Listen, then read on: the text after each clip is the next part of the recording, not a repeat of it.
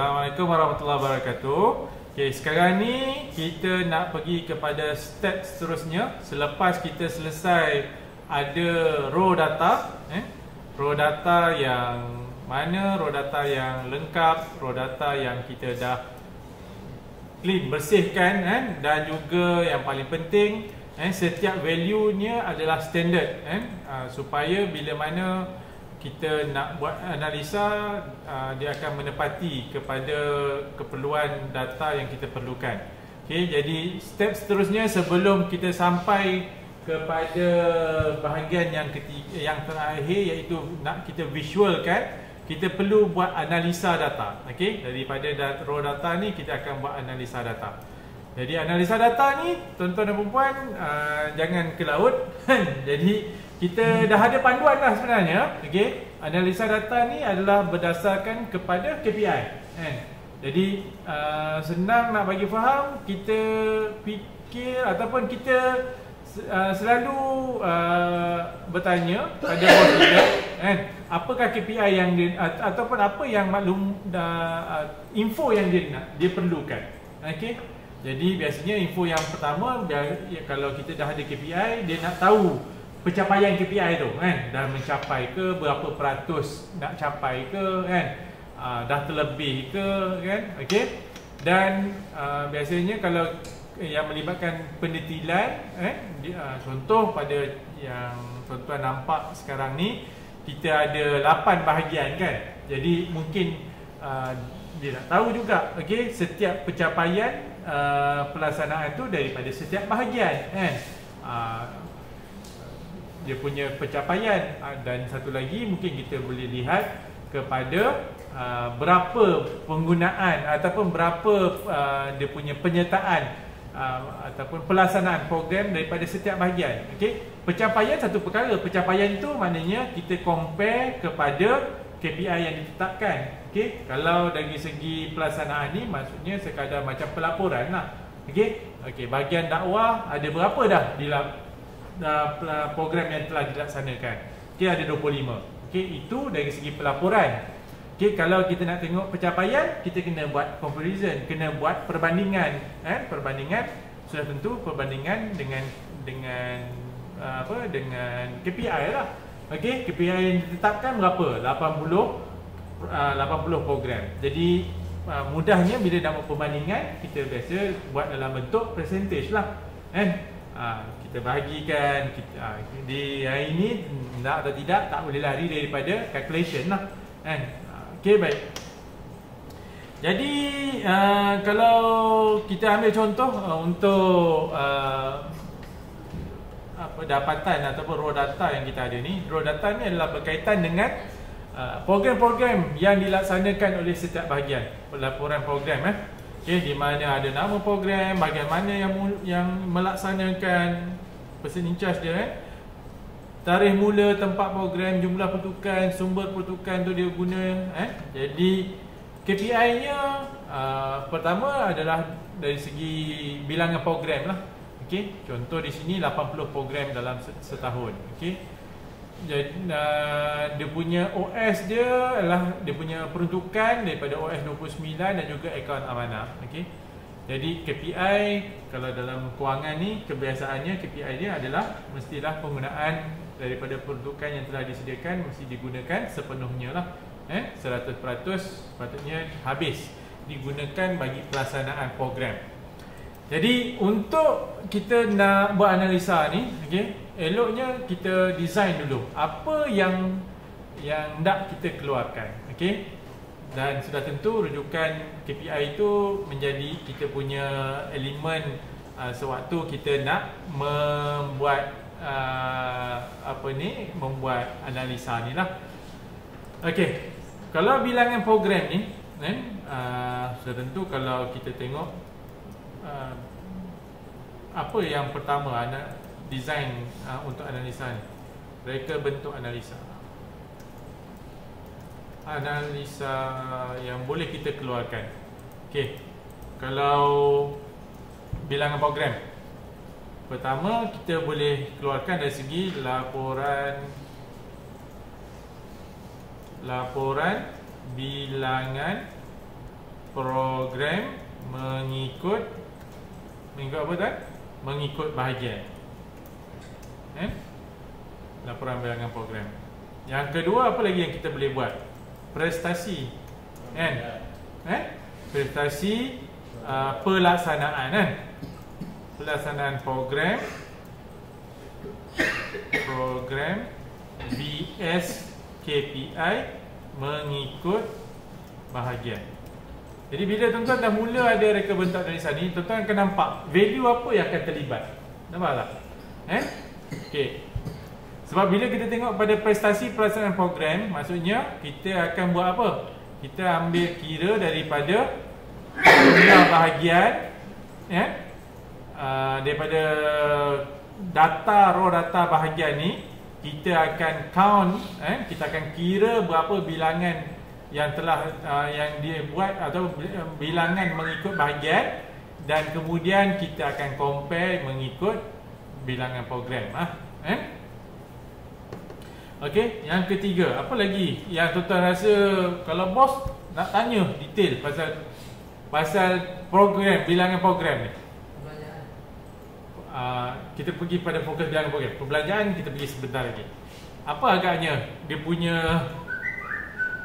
uh, orang kata ya? Sasaran. Okey. Pelaksan uh, bilangan. Mungkin bilangan kan? Bilangan sasaran sebab sasaran dekat sini ada ni kan. Sasaran mengikut pecahan program. Boleh begitu? program dan juga bahagian boleh pecah juga juga pada bah, pada bahag bahagian. Boleh bilangan sasaran. Ha, eh? Okey.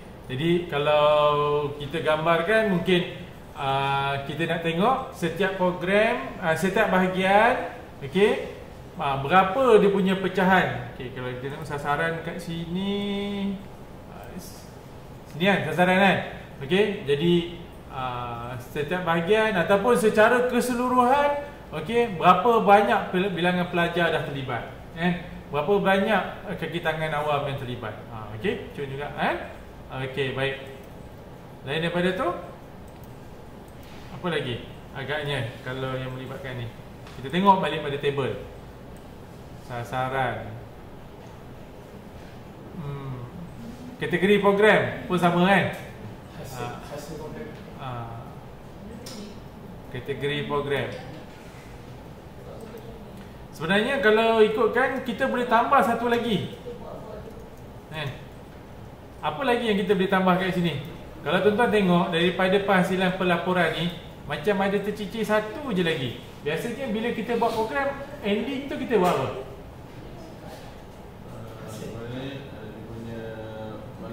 Ya betul tuan Kita kena buat maklum balas peserta.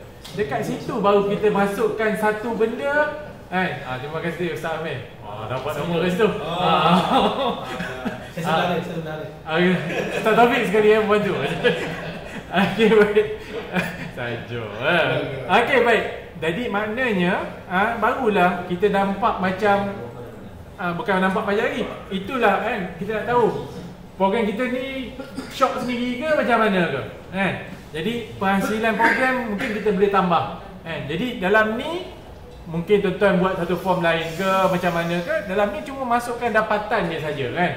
Ha, berapa ramai yang yang apa memuaskan tidak memuaskan yang sangat bersetuju ha, itulah kan dapatan program. Ha, ini mungkin boleh tambah baik lagi lah. Ha, jadi kategori uh, dari segi dapatan program eh dapatan uh, apa maklum balas maklum balas uh, maklum balas peserta program. Hmm. okey. Ha, nampak? Baru data banyak baru ada ni ada baru ada empat dah. Banyak lagi. Ha nampak? Eh? Nombor lima. Apa lagi? Ha, ya? Ikut parlimen bilangan program ikut daerah parlimen Lepas tu pecah ikut tahun Kan Ah, nak tengok tahun lepas berapa beratus, tahun ni berapa, ada peningkatan tak banyak program. Kan? Ya? Ah, ikut bulan pula kan. Ah. Semua cerita pelaksanaan lagi ni. Ah, nampak? Macam-macam kita boleh keluarkan. Pelaksanaan ikut bulanan, bulan, ikut tahunan kan. Eh? Ni baru cerita pelaksanaan je. Okey? Ha. Apa lagi lagi? Kita boleh tengok lagi kat sini kan. Ha, ada parlimen, okey, sasaran, baki peruntukan tu tak apa kot. Kan kategori program. Ha, kalau nak ikut baki peruntukan pun boleh juga. Kan? Ha, sebab bos pun nak tahu kan. Okey, kita dah sampai sukuan kan. Ha, itu kita boleh pecahkan lagi tu. Kan? Dia kita punya uh, pengiraan kita mengikut sukuan, mengikut eh maksudnya dibuat mana tadi? Eh? Okey. Dia punya analisa pelaksanaan pelaksanaan ikut sukuan kan sukuan pertama, kedua, ketiga kan keempat biasa ikut sukuan lah, kan Ha. Sebab sekarang ni rasa pelaporan ikut sukuan rasanya eh. Analisa pelaksanaan ikut sukuan. Ha. Okey, lepas tu bolehlah kita masukkan dah eh ha, pasal bajet kan. Prestasi prestasi bajet yang disediakan. Oh, ini saja dah lapan dah dia punya analisa dah kan. Eh. Dan semua-semua ni sebenarnya boleh lagi dianalisa ikut tahunan, ikut bulanan. Ha, jadi begitulah eh. Uh, tuan-tuan kena fikirkan eh uh, Benda pertama mestilah berdasarkan KPI kan sebab KPI itu kita ada perbandingan dan wujud istilah prestasi itulah kan. Uh, yang kedua, tuan-tuan kena lihat juga uh, dari segi atas pengalaman sendirilah kan. Selalu bos tanya apa kan. Critical uh, value yang rasa-rasa akan ditanya eh, oleh mana-mana pihak lah. Eh. Kerana di sini tuan-tuan rasa ada tak lagi yang mungkin data ni memang raw data tapi tuan-tuan kita tambah kolom untuk dapat data baru yang tuan-tuan boleh bagikan dia sebagai satu info baru. Ada sesiapa nak cuba ni? Cuba nasib. Cuba nama dimasukkan ke dalam video ni. Je. Saya dah. Oh, saya dah. Eh? Saya dah. Ya? Okey. Okey. Apa agaknya? Kalau kita tengok kepada tarikh mula, apa yang kita boleh dapat?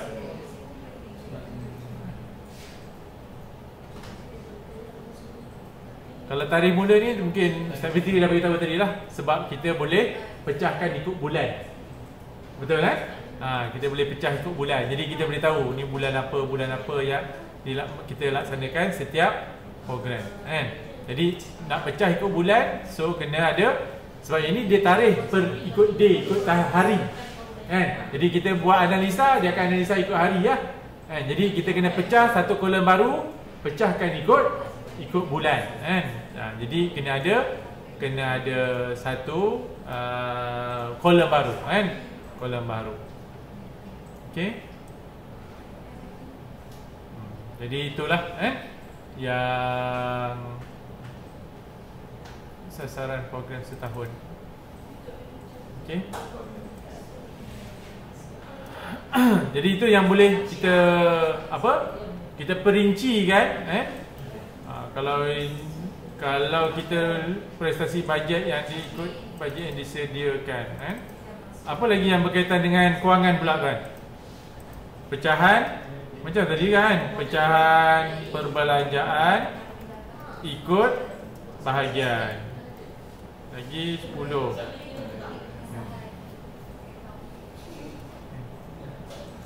Jadi konsep kepada dashboard ni eh Once orang tengok dia boleh dapat banyak maklumat eh? ha, Dan mungkin di antara 1 sampai 10 ni Ataupun 1 sampai 9 Sampai 9 ni Mungkin kita akan gabung-gabungkan eh? di dalam satu graf, di dalam satu analisa tu, eh, dalam graf tu nanti akan ada dua gabungan data tu, kan? Uh, Okey. Baik. Jadi uh, lepas pada ni tuan-tuan boleh cuba, eh. Jangan buat lagi jadualnya, eh. Cuba design dulu, eh. Tapi pastikan apa yang tuan-tuan design tu datanya kena ada lah ataupun datanya boleh di-extract ha, eh, daripada data yang ada. Kalau datanya tak ada, ha, kembalilah cerita kepada step sebelumnya. Raw data tuan-tuan tak mantap lagi lah. Kena mantapkan dulu, ha, barulah dapat KPI tu. Ha, okay? Jadi, uh, selamat mencuba. Kita cuba buat selepas pada ini. Terima kasih. Pak Ari macam dah